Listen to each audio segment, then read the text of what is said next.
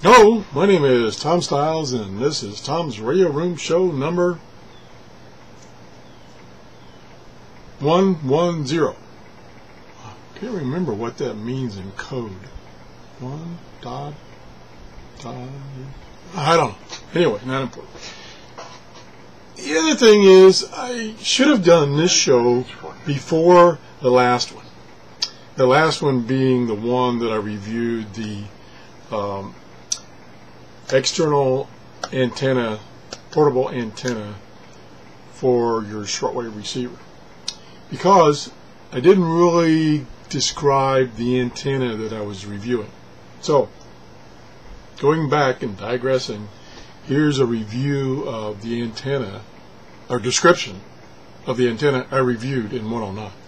So, here is the card that it was on. It was on a thing and this was attached and this is car it's a where am I? Where am I?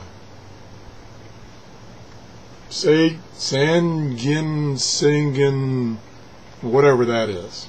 Portable shortwave antenna antenna 60 I don't know what that antenna 60 and I purchased it off of Amazon. At the time it was on sale for 697 and it had free shipping if you ordered over $25. And so I use some of the uh, credits that uh, your users have um, given to me indirectly by using my Amazon store, buying something, and then I get a credit. So I use, use some of those credits to buy this for review.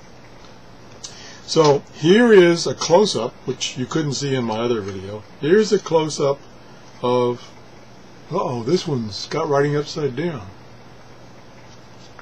Ah, there we go. Okay, it's fixed. I got my finger in the way. Okay, there's a close-up of it. Here is the, um, over here is the adapter. And this other end, over here, is a cord with a clip on it. And that's what you attach it to. And then you reel out. This is the antenna wire. You reel it out you reel, there we go, it was a little stuck there. You reel it out. And it's 23 feet long. So you take this in and you attach it to something, like a tree limb or something, and then you reel it out, and then I'm going to set this down, and then this end is the, if you have an external um, antenna opening, uh, plug, uh, whatever you call it, socket, whatever, this plugs into that directly and you're ready to, you're ready to go. If your shortwave radio, typically portable, uh, doesn't have that, then it comes with this adapter, which some of the more expensive ones and some of the cheaper ones don't necessarily have this adapter. It, it only has this. So that's why I bought this one. And so you just plug this into there, and now you can use this clip to clip onto your telescopic antenna. Here's, uh, oops, here's my radio. You can just clip this onto here. Show you a little better. You can clip this onto here. Very convenient.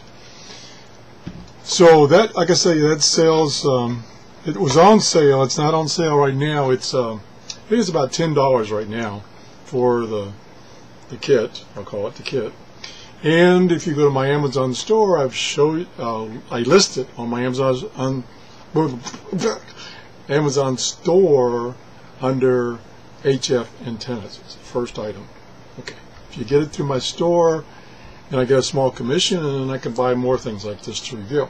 And what I will be doing in the near future is, since this this particular item I purchased through credits I got from my subscribers and viewers going through my store, then this will be a giveaway. A giveaway. Give it back to my subscribers, or one of them. Okay? So how's that? Now, the other thing, talking about these clip-on or add-on antennas for an external antenna for your shortwave radio. Uh, a couple of shows ago, I showed uh, I'll call it a care package. I got one from one of my subscribers with some all kinds of little goodies and stuff. And in the care package was these two items. This one, whoops, hmm, this one is some tie, twist ties uh, on a spool with cutters here at each end of the spools. And these, co these come off individually.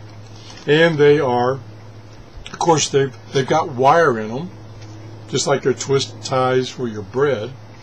And they are two spools of 25 yards each, are 25 times 3, 75 uh, feet of wire. And that's kind of what you want for an external antenna.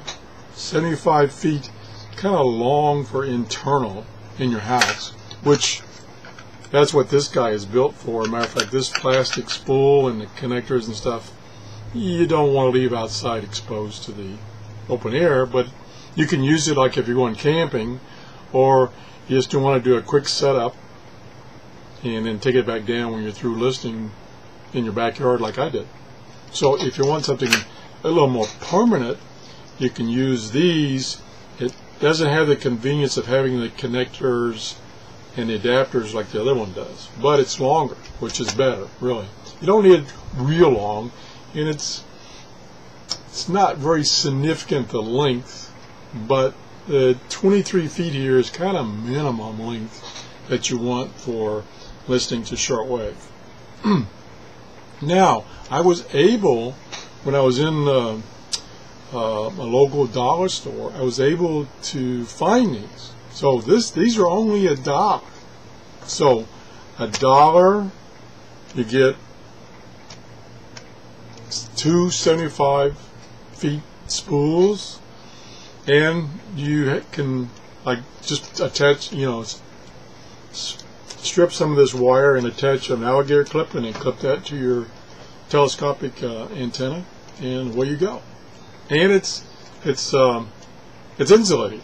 You know, it's got this insulation, and since it's supposedly made for tying up plants and stuff, it should be good for outdoors, at least for a while a year. By that time, I got something better. So anyway, that's cool. And thanks, John, for sending me this. He also sent me this, which I, I didn't see it at my local dollar store, but it's marked right here a dollar. So it's from a dollar store of some kind. And this is uh, 50 feet of 18 gauge wire and 100 feet of 20 gauge wire. Now this is bare wire, so that if you're going to, you know, string it outside, you're going to have to make some insulators to insulate this wire for your antenna from whatever you're attaching it to, for instance, a tree or something like that. You're gonna have to you're gonna have to make some insulators. Now you can make some insulators out of plastic bottle caps from milk bottles or whatever. As long as it's plastic, that's a good insulator. You take a piece of this, excuse me, say uh, three feet long, you tie it to uh, one side of the insulator, you punch another hole, tie the antenna part to the other side, string it across the yard, do the same thing at the other end, and then come back a few feet attached to the antenna part, a wire, and bring it down. Or make a continuous section and just bring that extra little leg down to your antenna. But like I said, you got to be careful because, for instance, if you're bringing this in a window or something, since this is not insulated, again, you got another problem with insulating. So that's extra work where this, theoretically, is insulated. This is insulated stuff. So you don't have to worry about the insulated. insulated. Although the plastic might break down, I don't know. But I'm going to, thanks to John, I'm going to try these two things and see how they work out. Make a little antenna and see how it works out. See how much trouble it is and do a video on it. Okay, thanks John. Alright, so I just wanted to bring you up to speed on what I was reviewing in the last video, what the actual item was. It's on my Amazon store, like I said, so you can see it there.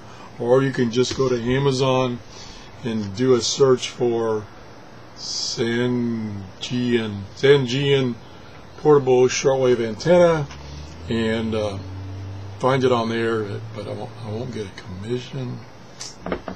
Uh, anyway, so